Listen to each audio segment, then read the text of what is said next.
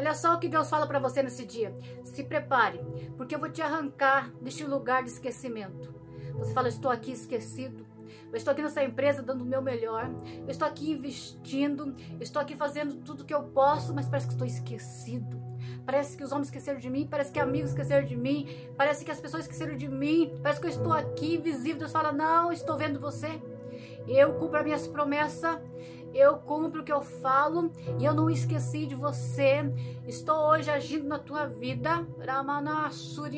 Você não foi feito para ficar no mundo esquecido. Você não foi feito para ficar nessa empresa esquecido. Você não foi feito para ficar nessa cidade esquecido. Você não foi feito para ficar abandonado. Você foi feito para vencer. Você foi feito para ter vitória. E hoje eu falo com você, filho. Estou tirando você do lugar de esquecimento. Isso é espiritual, queridos. Quando Deus fala, vou tirar esse lugar de esquecimento, não significa que Ele vai nos arrancar da nossa casa, da nossa família, significa que é espiritual. Ele fala, vou agir espiritualmente, o sobrenatural vai acontecer dentro dessa empresa, onde você era esquecido vai ser lembrado. Aí dentro dessa família, onde você é esquecido, estou agindo espiritualmente, sobrenatural, você vai ser lembrado aí nesse casamento, aí nessa família, aí nessa cidade, aí nesse ministério. É espiritualmente que tô falando, filho. Eu vou agir na tua vida no sobrenatural e você vai ver que você não está esquecido neste lugar, não pelo céu, não por Deus. Você não está esquecido neste lugar. Vou agir na tua vida. Tudo que eu falei, vou cumprir. O lugar de honra já está preparado para você.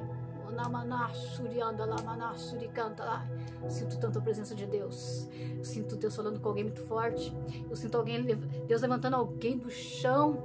Alguém que está esquecido. Alguém que está invisível. Alguém que está dentro dessa empresa tão abandonado. Alguém que está dentro dessa família tão abandonado. Alguém que está nessa cidade tão perdido. Você fala, estou aqui perdido, Cida. Eu não sei nem mais para onde ir. Eu bato na porta, eles falam que não tem vaga. Cida, eu estou aqui já passando cidade eu não sei o que fazer.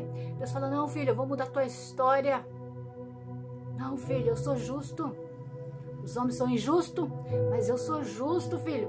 Eu vou mudar tua história. A Bíblia fala que José estava preso injustamente.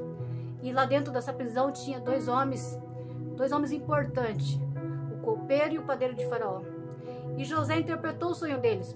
José interpretou o sonho que um ia morrer e o outro ia sair dali. E José falou para aquele que ia sair dali, o copeiro: quando você chegar lá, fale, pra, fale de mim para Faraó. Lembre-se de mim, fale que eu estou aqui, fale que eu sou inocente. E ele foi, e ele não lembrou. E passou tempo, e ele não lembrou. E José estava lá.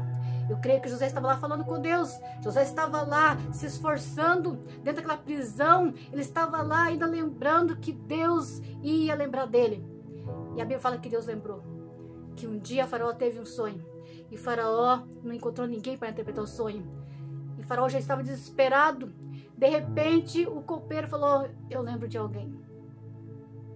De alguém que está lá dentro da prisão. De alguém que está lá esquecido. Ah, eu lembro de alguém. E vai acontecer com você isso lá dentro daquela empresa que falaram que não tem vaga, alguém vai falar, eu lembro de alguém que veio várias vezes aqui bater na porta. Aí dessa família, eles vão dizer, eu lembro de alguém que lutou por essa família, lutou por essa casa, lutou por esse casamento. Eu lembro de alguém que está nessa cidade precisando de ajuda. Eu lembro de alguém que está nesse ministério se esforçando.